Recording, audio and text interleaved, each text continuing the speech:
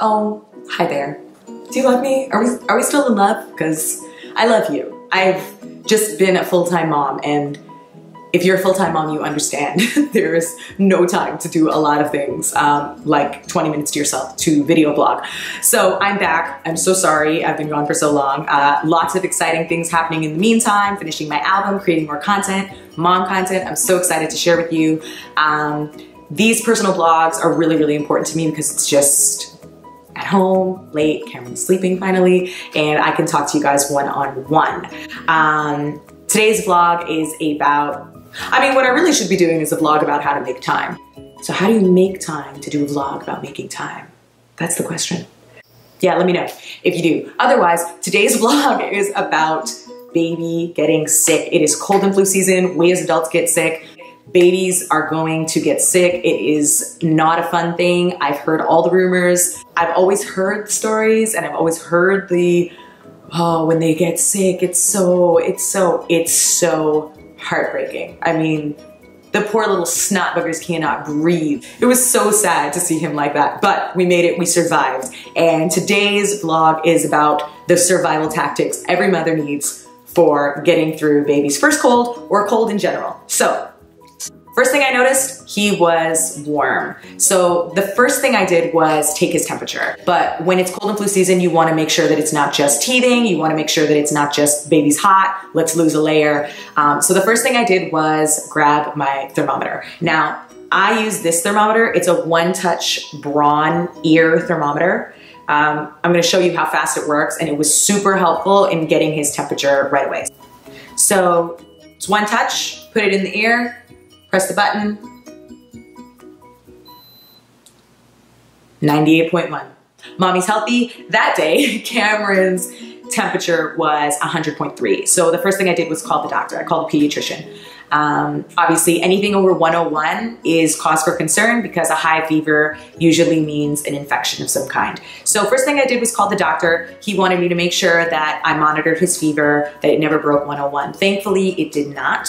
Um, so from there, we started to take all the necessary steps to kind of just help him get back to health. So the first thing that's gonna happen when your baby gets sick is there's going to be a lot of snot. There's gonna be a lot of mucus, there's gonna be a lot of cold fluid going on, and you have to get it out of baby's nose. Um, it's not a fun process for most babies. If Cameron is your child, he's gonna scream bloody murder every time you try to get those boogers out, and he did. I mean, Jared and I were like tag team in force. One's holding us down, the other one is getting the snot out. And moms have lots of different ways of getting the snot out.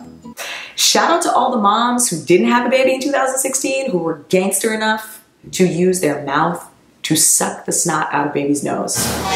I don't know if I'm that gangster, I feel like I might be somewhere in the middle of nowhere with no apparatus and no help and a stuffy baby, but otherwise, uh, I found some awesome contraptions for all you moms who are not about that gangster sucking the snot out of the nose with your mouth life. Hashtag. So first thing that's gonna be really important, getting snot out, uh, which is really helpful, is steaming with baby. So you, it's just as simple as turning on the shower at hot, closing the door, getting baby, going back into the bathroom and sitting in the steam. They generally like it. Cameron loves it. Um, it's nice and warm, it's soothing, and it's gonna help to just loosen up all the mucus that's in their poor little nasal cavities. Um, also something that really helps with loosening up mucus is nasal drops, saline drops. Um, saline drops, I mean, you can make your own solution of salt water at home. Uh, you can just Google what the parts are, but you can also just get these. They're over the counter at CVS, um, at any drugstore, and you wanna just put a few drops in baby's nose. It will loosen up the mucus, and then it's time to suck. If you're not about that using your mouth on the nose, gangster life, I'm sure I messed that up again. Um, you wanna get one of two things. My first recommendation is this awesome invention. It is called the Nose Frida. Uh, F-R-I-D-A, the Nose Frida. And you want this. I mean, if you read any sort of blog online, this is like the number one thing that every mom loves because you don't have to worry about getting snot in your mouth because that's really what some moms do. Again, kudos to you gangster moms. This is, it's really, really simple. Uh, you use this tube, put it under baby's nose just by the nostrils, not in necessarily, but just on the outside, and you just suck. It's a straw. It's got a filter on the inside, like a sponge filter, so the um, fluid doesn't get to you.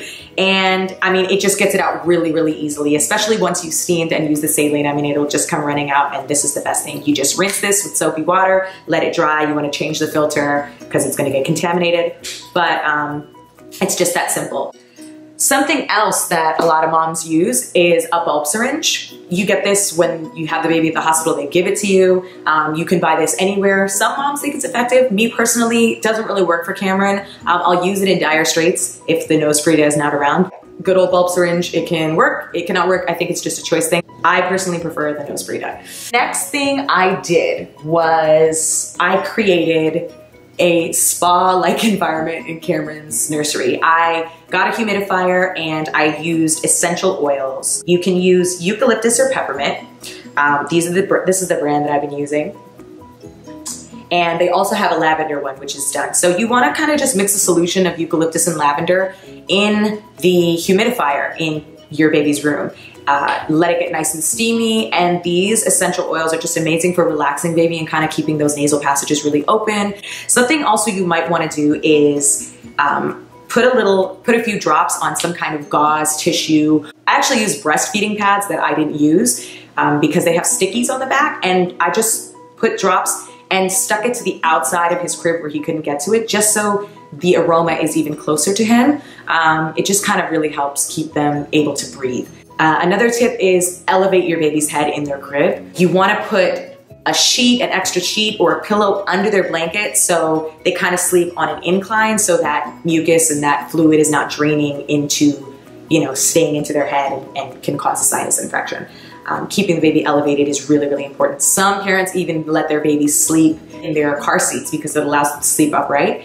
Uh, if you're like Cameron, you slept on our chest in the rocking chair all night long but that's just me. Um, another thing that I did, which is really, really important, and obviously if you're into holistic medicine, they will tell you that reflexology is really, really important. Um, some people use baby Vicks on their babies. I personally prefer not to. Uh, I kind of created a concoction of the eucalyptus oil and coconut oil. This is just organic coconut oil that's safe for babies, safe for mom, safe for, I mean, it's just awesome. You can use it on your skin. And I just made a really diluted mixture of these two and I rubbed the bottom of his feet with the eucalyptus oil and the coconut oil mixture and put him in socks and went to sleep. Um, you know, Eastern medicine has proven that you can detoxify from your feet. I am a firsthand believer of this, but definitely keeping feet covered. Put your baby in socks, their head and their feet are the most important things to keep covered when a baby is not feeling well. And then last but not least, fluids. It's so hard when baby's sick because they can't breathe, so they may not be wanting to eat. They may have lost their appetite, they can't breathe. Um, they're, you know, they don't want to take a bottle. You have to try to keep them hydrated. Um, it's gonna help just flush that virus and that cold out of their bodies faster. So, um, you know, extra feedings, extra water, uh, I found that really, really helped Cameron. And you know, it took us it took us a while, and we had to fly with him. That's a whole other that's a whole other vlog. It's a scary thing when your baby gets sick for the first time. So we made it. Okay, and for some reason, technology wanted to fail me, and my camera just shut off. So uh, hopefully. when I edit this, it will make sense. These are just some tips that I discovered, was recommended by my doctor, obviously the internet, um, that really helped us get through our first cold. It is not easy, it's heartbreaking, um, but getting sick is a part of life for babies. It's actually really important because it helps boost their immune system. Um, it's cold and flu season, everybody is sick. If you're traveling with baby, that's also another reason why uh, babies might get sick, lots of germs on planes, and I mean, it's just bound to happen. It's gonna happen sometime, but all you can do is do your best, stay strong, try these things. They really helped me and Cameron and um, I hope they work out for you. So uh, yeah, that's it. If you guys have any questions or anything that I didn't cover, if you have any questions, you can ask in the comment section. I'll do my best to respond.